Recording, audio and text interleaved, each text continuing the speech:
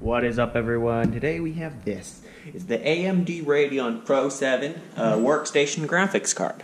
And today we're unboxing it. Um, stay tuned for the next parts, hopefully, in the series where I install it. Uh, and of course, the drivers. Uh, well, that's kind of obvious. Uh, and do some benchmarking. That's like the third part. So you can tell this is definitely a genuine card because of the AMD stickers. Okay, see what we get in here. Hmm. What is that? Alright, so it's a box in a box.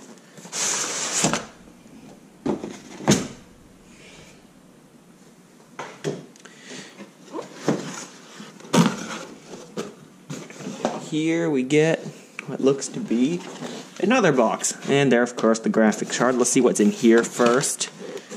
You get some sort of bracket, which I'm not really sure what it's for. I've never seen that. And another sort of bracket looking thing. Oh, wait, it comes with instructions. Oh, um, those are nonsense.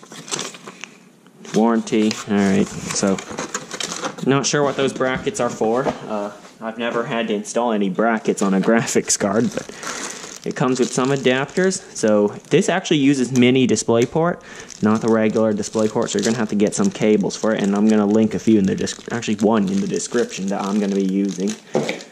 So it looks like I won't be using any of these because I already bought the cables.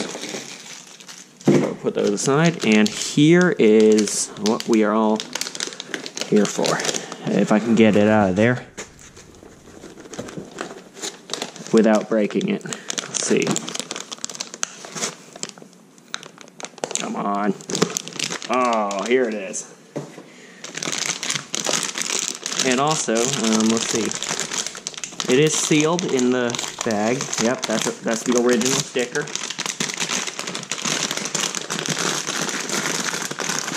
because you know about if you know anything about computers nowadays, the graphics card market isn't exactly doing well. Okay, here is our card. Oh wow, that that thing is made of solid metal. Now that's cool. Here's the fan. It is pretty large. There is a protective film over here, so let's peel that off.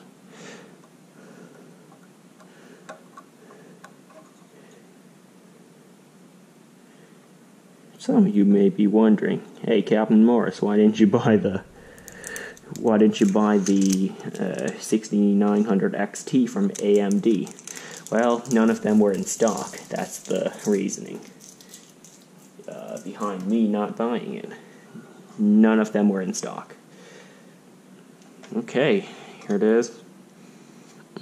So this is actually going to be installed vertically in the computer. I just think it looks good installed vertically. So that means this will be facing out, not down. So yes, you will be able to see AMD Radeon in all of its glory. it will be proudly displayed. So there's the card itself. I'll, I'll let you have another good look at it. Here's the front. Here's the side. There's some kind of connector here. I'm not sure what it's for. I'll have to read a little more about it. Here's the back. You can see this is obviously where the, the chip is. Um, I think these are power delivery, power management. And the RAM usually surrounds the card. And then, of course, here's the back of it. That's where you plug in everything. All your monitors. It can support up to six 4K displays, which is impressive. Um, also, you you obviously knew I was going for a RTX 3090, of course, but they're not in stock. Um, this video will be a reminder to people, I don't know, 100 years later or something. I don't know. Let's not think too far. Maybe 10 years later, that graphics cards were a shortage during this time. And they, the prices were sky high. This one, uh, uh, this one, fortunately, I got it at its original retail price of 1900 which is still very expensive for a graphics card. But yeah, there's the card. I just did the unboxing. Let's see what kind of adapters it comes with. Mini display port to is that really mini? That is mini display port to uh to full size display port. Mini display port to DVI and mini display port to full display port again. What looks to be. So yeah, in total it comes with two mini display port to full display port and a mini display port to DVI. Okay, seems reasonable enough. But uh, I'm to bring in one of the cables I bought to hook up to this card.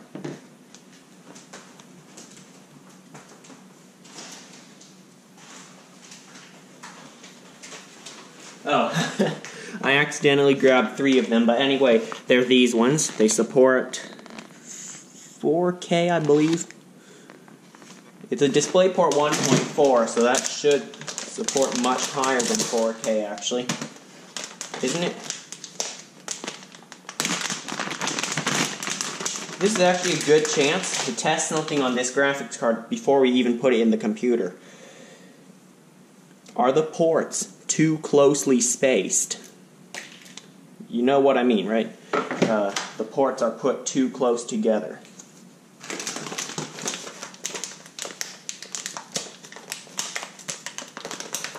So I'm going to take out two of these cables and we're going to plug both into the graphics card. Hold on for a second.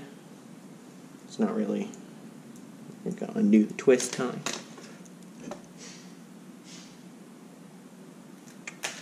Okay, remove the plastic cap. And here is our graphics card. Remove it here again and plug them in. So it actually looks like if you get these cables, they will fit all six of them. As you see, there's some distance between the two. I don't know, I was just doing this to check in case they were too closely spaced together. I had no idea when I bought it if they were going to be too close and if I bought the wrong cables. So let's stick this back in the anti-static bag throw it back in the box. And that's kind of the end of the video here. Um, I'm going to link these cables in the description and also the graphic card where I got it. So, I don't know if you want it too. You know what cables and card to buy. Well, at least recommended by me. Well, thanks for watching this part one. Uh, we'll get to part two soon.